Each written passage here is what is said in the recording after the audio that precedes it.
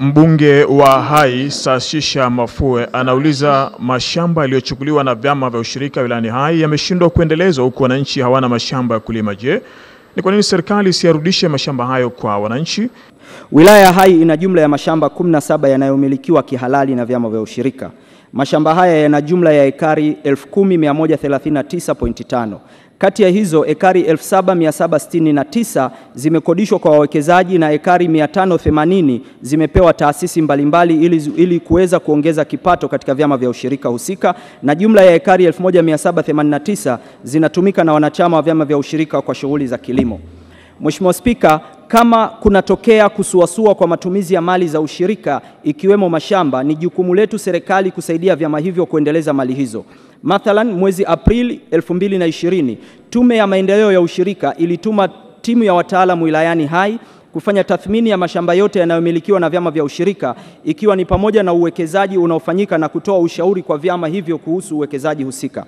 Baada ya tathmini iliyofanyika mwezi Julai, serikali kupitia Tume ya Maendeleo ya Ushirika ilitoa mwongozo kwa vyama vya ushirika vinavyomiliki mashamba kuyaendeleza na kuyafanyia uwekezaji kwenye sekta ya kilimo ili kuwanufaisha wanachama, na kwa sasa mashamba yote yanatumika. Aidha, Tume ya Maendeleo ya Ushirika inaendelea kufanya urasimishaji wa mali zote ikiwa ni pamoja na mashamba yanayomilikiwa na vyama vya ushirika na kuweka mikakati endelevu ili mali hizo ziweze kutumika kwa manufaa ya wanachama wa ushirika na wananchi kwa ujumla. Serikali haina mpango wa kuchukua mashamba yanayomilikiwa na vyama vya ushirika, bali itaendelea kusimamia na kushauri vyama kuendeleza mashamba hayo kwa kutekeleza mipango ya uwekezaji itakayonufaisha wanachama wa vyama vya ushirika.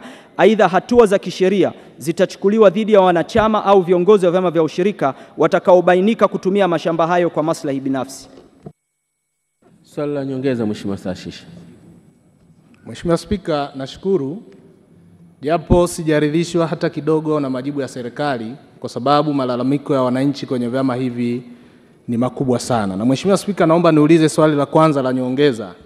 Kwa kuwa kumekuwa na malalamiko makubwa ya ubadhilifu wa vyama hivi vya ushirika, bodi hizi kuwa wababe, kutoshirikisha wananchi, lakini pia mashamba haya kukodishwa pasipo tija kwa wananchi, je, serikali haioni ni wakati mwafaka sasa wa kuunda tume maalum itakayoshirikisha vyombo vyote vya dola kwenda kufanya uhakiki wa mashamba haya yote kumi na saba?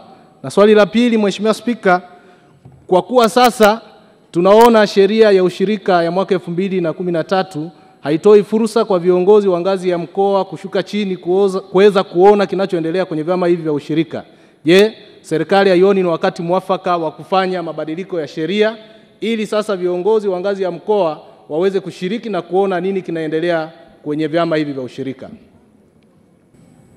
Mheshimiwa Spika, naomba kujibu maswali mawili ya nyongeza ma, ya Mheshimiwa Saasisha kama ifuatavyo. Mheshimiwa Spika, ni kweli kuna changamoto za baadhi ya viongozi wa vyama vya ushirika kuhusishwa na ubadhirifu na serikali imekuwa ikichukua hatua mara kwa mara. Tumeona hatua ambazo zimechukuliwa na serikali katika vyama vya ushirika vya tumbaku.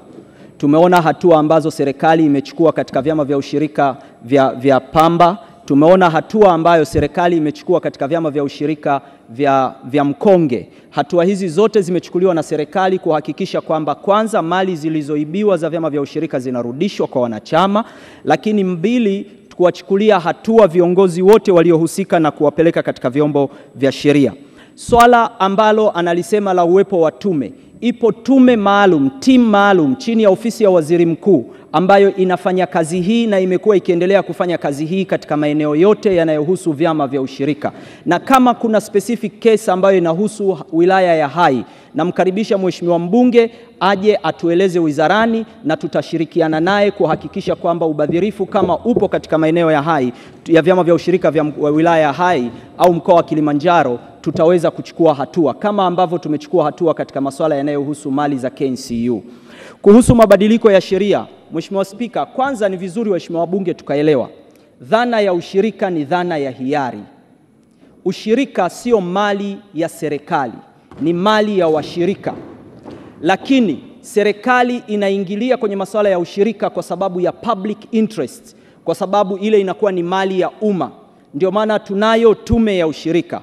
Lakini kuhusu swala la mapungufu ya kisheria, Wizara ya Kilimo sasa hivi inaipitia sheria na mwaka jana ilikuwa tuilete ndani ya bunge ili kuweza kuifanya sheria ile kuihuisha iweze kuendana na mahitaji ya sasa, badala ya kuwa ushirika wa huduma uwe ushirika wa kibiashara kwa maslahi ya, wa, ya, ya wanaushirika.